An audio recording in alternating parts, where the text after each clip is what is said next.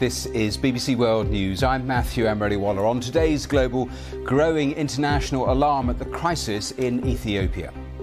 With millions trapped in a desperate, escalating situation, a major diplomatic effort is underway to defuse the civil war.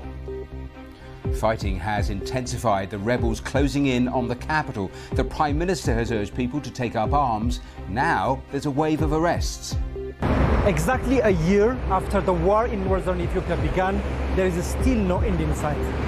In fact, it's moving fast southwards and approaching the city, the capital, Addis Ababa.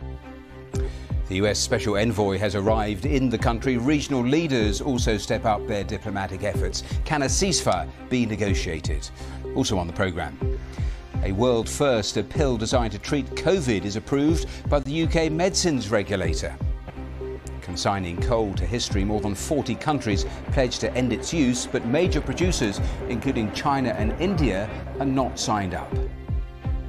And a man is charged with kidnapping a four year old Australian girl as police released dramatic audio of the moment she was found. I got you, What's your name? You're alright. What's your name? What's your name, sweetheart? Um, my name is Cleo.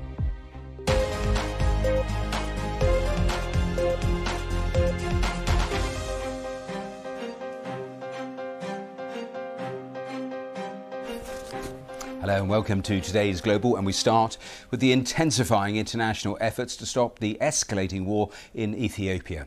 The US Special Envoy has arrived in the country. Kenya's president has called for an immediate ceasefire. And the UN Secretary General has said his offices would help to create the conditions for dialogue. It is a year since the conflict started. Thousands have been killed, and the country is suffering one of the world's worst humanitarian crises.